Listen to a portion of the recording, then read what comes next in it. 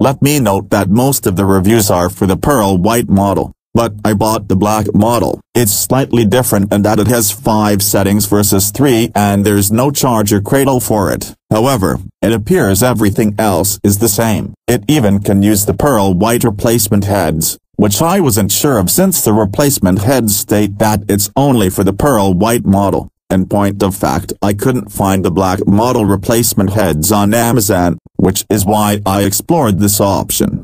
If you haven't used an electric toothbrush before, I think it's worth mentioning that the rapid vibrations of the brush head will make the things it comes in contact with tingle, like a small ticklish feeling. Aside from that, the brush worked great the first time I used it, my teeth feeling the freshest they ever have. The brush automatically pauses for one second after every 30 second increment and then auto turns off after 2 minutes. I guess the idea is that 30 seconds should be spent per quadrant of your mouth for a 2 minute total brush time, which is a very clever built-in feature.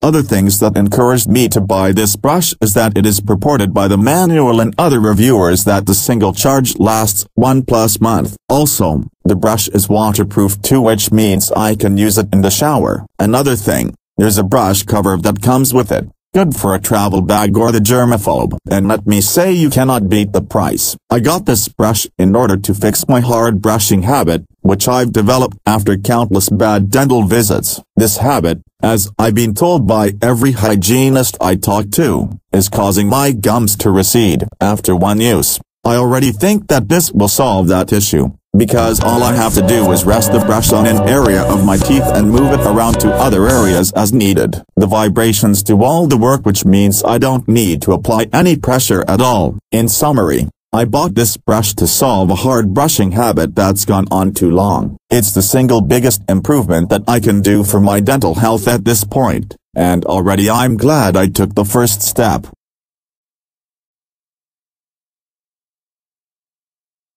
I was looking for a ball to use as an office chair. It couldn't be a crazy color because it would be in an office setting and the shiny rubbery ones looked like something kids would play with. This ball looked great because it was a neutral gray, didn't have any crazy markings except Dynapro on the side, and had more of a matte finish.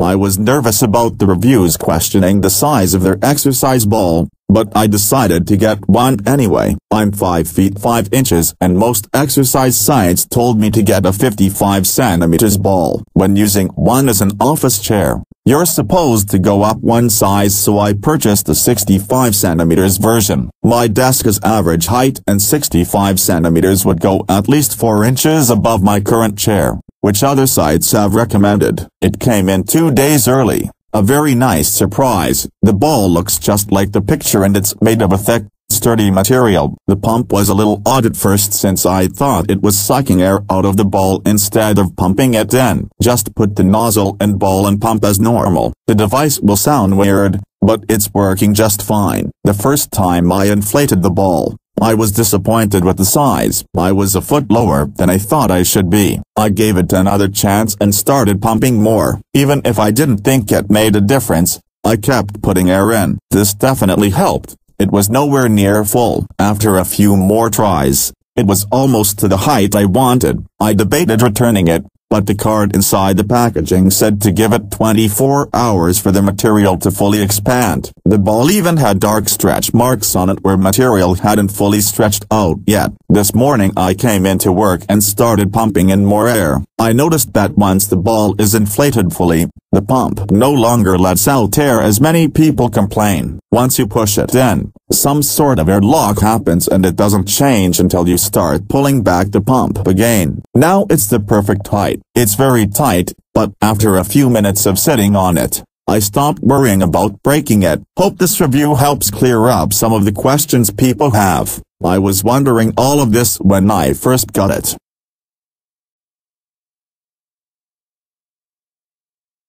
I've had my Chulux single-serve coffee maker brewer for K-Cups for a year and a few months. Over that time, I've regularly made about 6 cups of perfect coffee with very few issues. I was a former owner of at least 6 Keurig brand coffee makers that worked, but failed after about 8 months. Yes. All of them lasted only about 8 months. Tried everything on YouTube to get them to work again.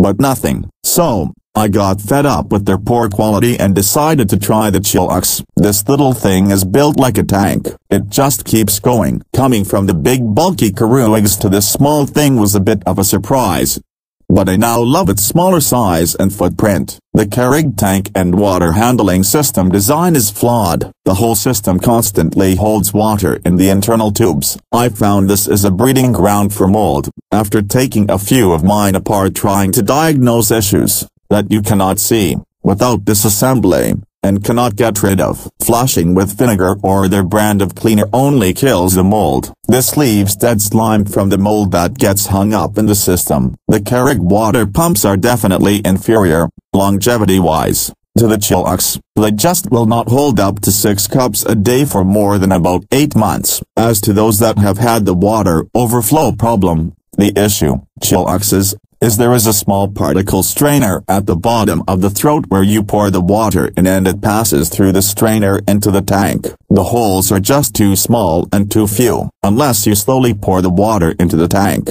You will occasionally get a backflow. I feel this is a design flaw on their part. What I have done is to remove this strainer, easily done with one finger, and use it without it. I've not had any issues with the tank getting foreign matter accumulated or in the machine's operation. As to those with the grounds coming loose from the pods and getting into the coffee or on the machine itself or countertop, I've not had this issue. It could be the pods themselves have a defect or poorly made. It could be how you are putting the lid down on the pad and latching it shut. The motion should be swift once you start to the closure process. I make one swift movement and latch it immediately. As for the heat up time of the water, when I first received my Chulux, my last old Keurig was still working. So, I timed how long each took from start brewing button push until coffee started flowing. The Chulux was maybe 5 seconds slower than the Keurig. The improvements I would like to see would be a faster brew time, I would pay more for this feature or such a model, and bigger holes in the water strainer.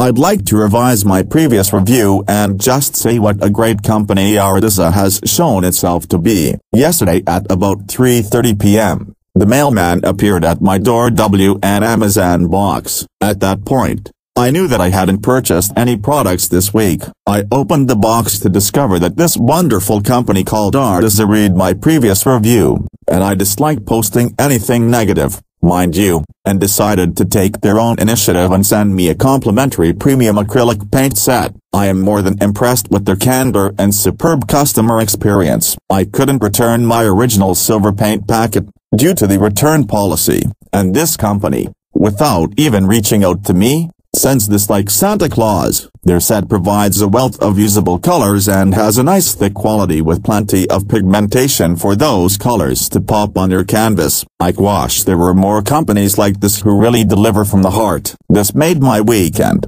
Thanks Arteza. You are my new go-to for my acrylics. Original review. No longer valid. I opened this paint up and it was like paste. Dried up gummy paste. Keep in mind I enjoy painting thick, but wow, save your dollar and purchase a higher quality brand. I dislike writing negative views in general, but this is not usable and my return window disappeared because I decided to use this a couple months in.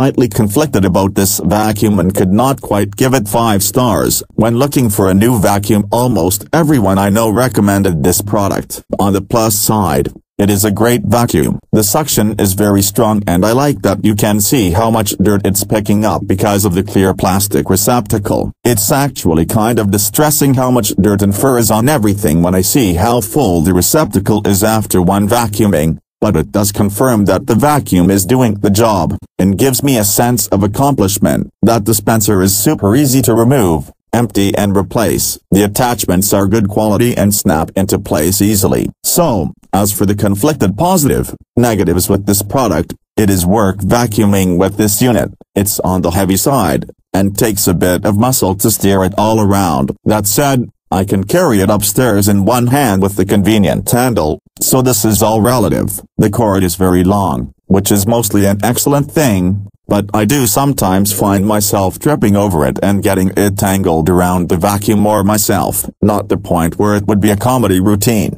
but enough to be a little annoying. The cord is not self-retracting, this is fine with me but might be important to someone. Probably my biggest complaint with it is the hose for the attachments. It's an accordion-style hose which is supposed to extend out X number of feet. 6 maybe, the hose constantly wants to retract to its shortest length and does not stay extended easily. This causes the vacuum to constantly be pulled closer to where you are vacuuming with the attachment. I feel like I'm constantly fighting with it and pushing it away when using the attachments. Also neither the vacuum itself of the attachments are made to easily get under a bed or anything else that is pretty low to the floor. The shape of the attachment is not angled so that it can touch the floor if it's not being held upright or near upright. Also the suction is so strong that you can't vacuum smaller mats or area rugs. They get sucked right into it. The attachment however can be used on these but I don't feel it does as good of a job as the vacuum itself would do.